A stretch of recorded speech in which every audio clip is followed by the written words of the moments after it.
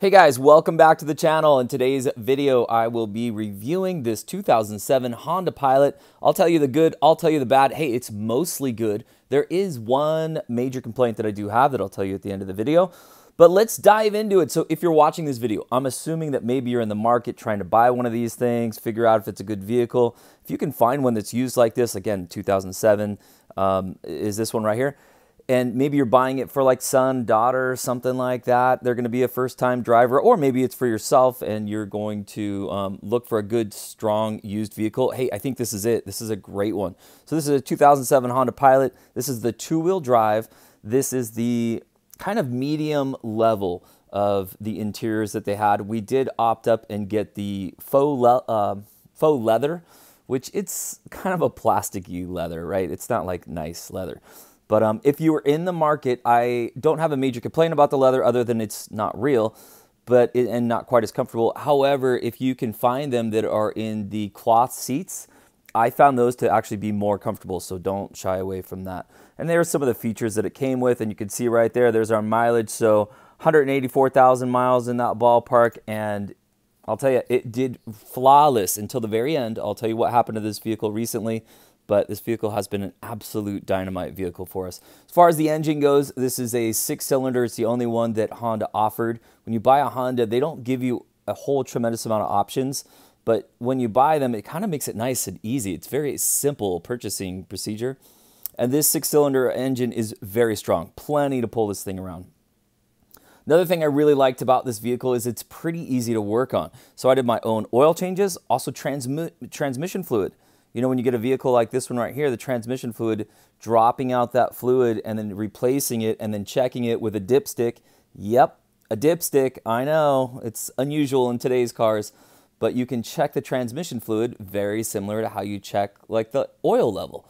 And that made it so easy to change the transmission fluid. So that was really nice. And uh, again, two wheel drive, but we never really had a problem with that at all. I kind of wanted to get the four wheel drive, but the two wheel drive worked great for us. Here we are towing a pop up tent trailer, and that's most of the towing we did was pretty lightweight. The vehicle did pretty well at towing smaller things like that. So here's a front shot of the vehicle, and you can see it's still in fantastic shape. Now, if you're shopping for one of these, or maybe you have one of these and you're kind of seeing how it's going to age, here's my strong recommendation you, I don't know if you need to wax the entire vehicle, but what I did is I would look at other people's vehicles that were a little bit older of the same make and model, and I noticed that they were fading away and the paint was starting to fade right above the windshield and then also coming down those um, sort of pillars down towards the hood.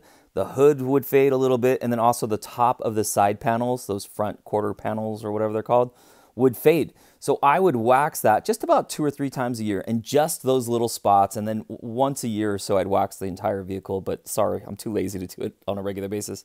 But by doing that, this 2007 in 2021 had no paint fade whatsoever, which is a little bit unusual. Usually, um, if you live in a sunny state, you'll see the fade a little bit. So again, medium size SUV. I think they call it like a medium large. We also own a Toyota Sequoia and it's the Sequoia is enormous compared to this. Now this worked fine for our family of 5 as our kids were growing and getting bigger. It did start to feel a little bit small, especially when we are throwing the dog in there, or something like that. Then it would really really get small. And again, you can see that that area right above the windshield still looking pretty good. I know the sun's kind of hitting it weird right there. But anyway, worked fantastic for that. We would put luggage and all kinds of different paddle boards and go to the lake type stuff up on top of the vehicle. Worked fantastic for that as well. This one has the moonroof, sunroof, and no leaks. That worked perfect. We also opted for the tow package on this and we got it from the factory, which if you're, if you're shopping for a used one and you find that, boy, that is a nice little thing to have there. Came with a transmission cooler and some other goodies under the hood. And then of course, you know, the, the rear end of the tow package here. And that was, that was really helpful for us. So I'm glad we did that. And of course you can do that aftermarket too, but if you're buying one used and it happens to have that, especially if it's from the factory, um, hey, that, that's a pretty big bonus there. As far as towing capacities go, I can't remember the exact weight, but I can tell you that when we towed things that were sort of medium heavy, still under the limits, it, you could feel it. It was kind of herky jerky in the vehicle. And otherwise, when we weren't towing, the vehicle felt so strong. It's one of those vehicles that kind of feels like it, it's it's a heavy vehicle, and it felt and drove that way in in a good way. You didn't feel like you were in a little tin box. One of our friends has uh, another Honda, which is the smaller SUV. Gosh, I can't remember exactly which one it is, but it just felt like you were in a tin can, kind of. And I felt like kind of uncomfortable, like if we were going to get into crash, it was going to be bad news. The Pilot doesn't feel that way. It feels like a strong, semi-heavy, firm driving vehicle, and uh, I thought it did great with that. You can see the interior here still in fantastic shape all the way through the years. That radio headset worked fantastic, flawlessly. Six disc changer, which I'm shocked, but still works to this day. It works just fine. Air conditioning, all those kind of things that are kind of the reason you buy a Honda, right? So that those still work when the vehicle is 10, 15 years old.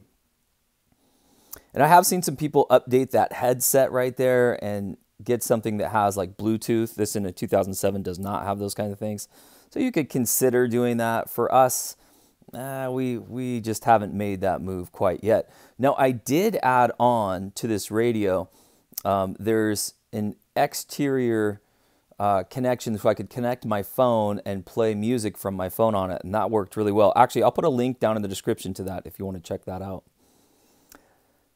And kind of looking at these seats, the seats are, you know, they're medium comfortable. On some of the longer road trips, we felt like the seats were a little bit uncomfortable. Again, that leather is a little bit plasticky feeling. Hey, here's the middle seat. You can see I took the headrests off because normally we'd have car seats back here. Of course, you got to have those headrests on at all times for safety reasons, but we took them off with the child seats.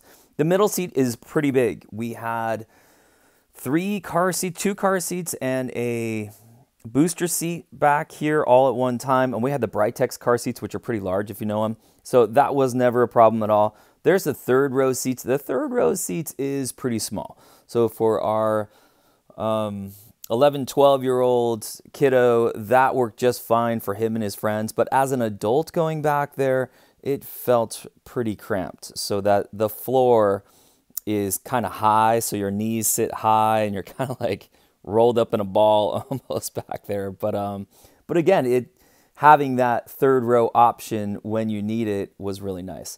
So here's the driver's seat. This did finally get a little bit of a tear in that seat. And I say finally only because I'm a pretty big guy, I'm pretty rough getting in and out of there with blue jeans and all that kind of stuff. And it did break just a tiny little bit. I was able to mend it and kind of fix it, and it seemed like it was doing pretty good. All right, now my friends, I will show you the flaw. Are you ready? So what you're looking at right now is I, the vehicle had died and it pulled up this code right here, P0340. And I'm just kind of showing that one like, oh, this is me trying to diagnose it. And here's what the actual problem was. That, and, and something that Honda, boy, if you ever see this video, please listen. You have an interference engine here and now we have a timing belt instead of a timing chain.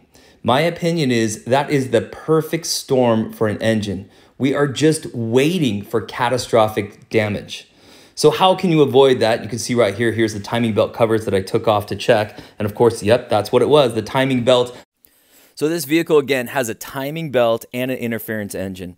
If you're gonna have an interference engine, I strongly recommend trying to find a vehicle that has a timing chain instead of the belt. You think about Toyota, that's what they've done with a lot of their engines. And honestly, I think that's why they're winning the reliability battle over Honda. Is But on this one here, um, the belt that actually broke had less than or roughly 60,000 miles. It might have been a little bit more, maybe 64,000 miles before that belt actually broke. When that belt broke, because it's an interference engine, the valves collided with the pistons, causing catastrophic damage and basically cost me over $5,000 to fix. I fixed it. It ended up working absolutely perfect. However, my wife and I were looking at each other saying, you know what? I think that is a sign to sell the vehicle. I still think this is probably going to be on the road for another 10 years. It's probably going to do fantastic as long as the new owner changes that timing belt, takes care of the transmission fluid, and those kinds of things. So here's my overall rating on this vehicle. If you were going to buy one of these, check the transmission fluid. See if you can get some service records. Did they change that fluid or not? Secondly, when is the last time that timing belt was changed? And where did they change it? Do we feel like it was really changed? Did they use a quality belt? I did not know this at the time, but the factory belts are much higher quality than it looks like the belt that I had put in. I went to a reputable shop, they put in a belt they recommended, but at the same time, when all was said and done, the mechanic who actually fixed it said, hey, this belt wasn't as high of a quality. That's why it went out at a little bit lower mileage than we expected. But again, the long and short is it was a fantastic vehicle for my family. Family of five or smaller, I think it's a home run grand slam. But again, interference engine and it has a timing belt. So be very smart with that. Also the transmission fluid, make sure that that has been serviced with a drain and fill on those regular maintenance, um, as regular maintenance. And if that's the case and the oil looks clean and, you know, of course get it checked out by a mechanic, but those are the kinds of things I would be looking for. Hey friends, I hope you enjoyed this review and I have a tear in my eyes. I've said goodbye to this vehicle. However, I've added on a Toyota Tundra to take its place. So if this video helped you out, hey, give it a thumbs up, give it a like, and we'll see you on the next video. Bye for now.